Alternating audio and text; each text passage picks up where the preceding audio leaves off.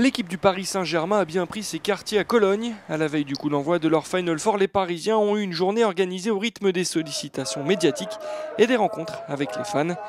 Luka Karabatic et William Acambré tout d'abord se sont rendus dans le centre de la ville pour participer à une séance de dédicace organisée par un des partenaires de la Velux EHF Champions League.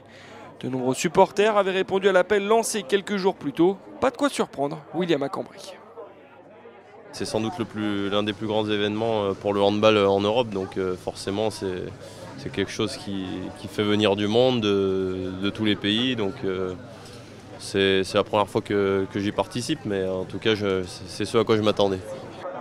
Cet après-midi, il n'y avait pas que Germain qui arborait les couleurs rouge et bleu. Plusieurs supporters présents portaient le maillot de notre équipe. Un point positif pour Luca Karabatic, heureux de savoir le club aussi bien représenté à l'étranger.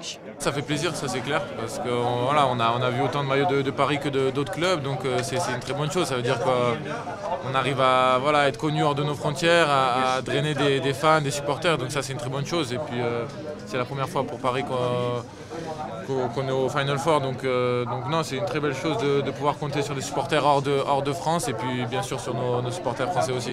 Et de leur côté, Daniel Narcisse, Nicolas Karabatic, Lucas Ballot, Thierry Omeyer, Henrik Molgard et Zvonimir Serdarouzic ont participé à une rencontre avec l'ensemble des journalistes dans les jardins de l'hôtel. Des médias venus nombreux à moins de 24 heures du premier match des Parisiens en demi-finale de Ligue des Champions.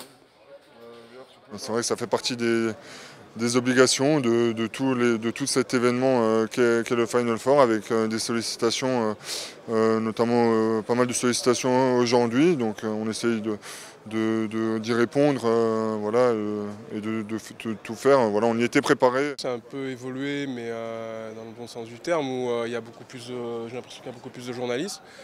il y a beaucoup plus d'excitation autour de, cette compétition-là, donc bah, ça montre que euh, ça devient euh, un des plus grands événements, en tout, cas euh, dans le, dans handball, en tout cas pour un club. Nos joueurs ont ensuite pris le chemin de l'entraînement dans un gymnase situé à un quart d'heure de Cologne. Après un échauffement et un atelier de football, ils ont préparé la demi-finale face à Kielce à travers un travail tactique. Direction la Lanxess Arena ensuite pour Michael Hansen, accueilli par Tom O'Branigan et accompagné par Gasper Margouch, Manuel Sterlek et Igor Anic, représentants des clubs de Veszprem, Kielce et Kiel. Il s'est prêté au jeu des questions-réponses lors du Google Hangout, un événement que vous avez pu suivre en direct depuis notre site internet psghand.fr. Enfin, le Danois a été rejoint par le reste de l'équipe dans l'une des loges de la salle. Le temps pour eux de découvrir brièvement la Lanxess Arena perturbée par la pluie. La présentation qui devait avoir lieu a dû être annulée euh, pour laisser place à une séance de dédicace pour le plus grand bonheur des fans.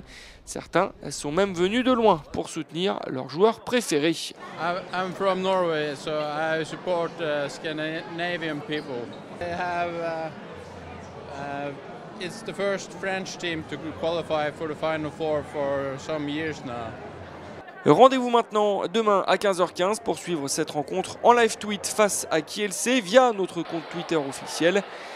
Sans oublier le live audio de France Bleu disponible sur notre site avec au commentaire Bruno Salomon et Xavier Barachi.